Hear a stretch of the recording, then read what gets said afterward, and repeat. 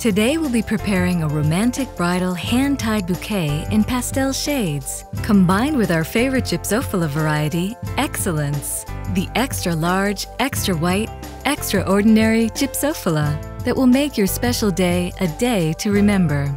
To prepare the bouquet, you will need the following.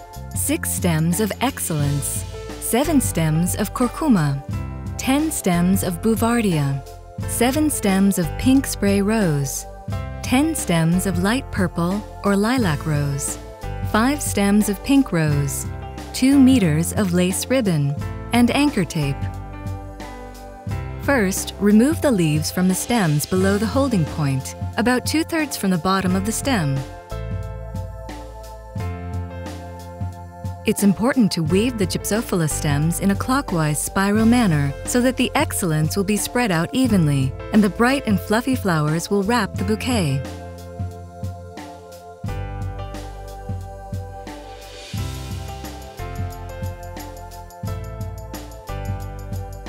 When reaching the desired size of the bouquet, cut off the ends, about 6 inches from the holding point.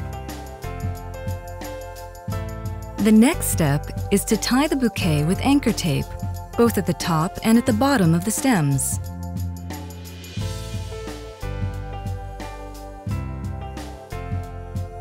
To decorate the bouquet handle, use a white lace ribbon of about 2 inches wide and about 6.5 feet long.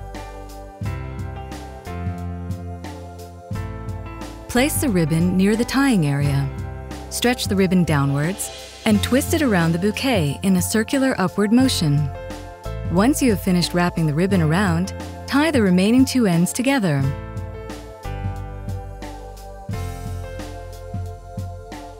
Now form a bow tie ribbon. Fasten it with a wire cord and attach it to the bouquet handle. It's as simple as that.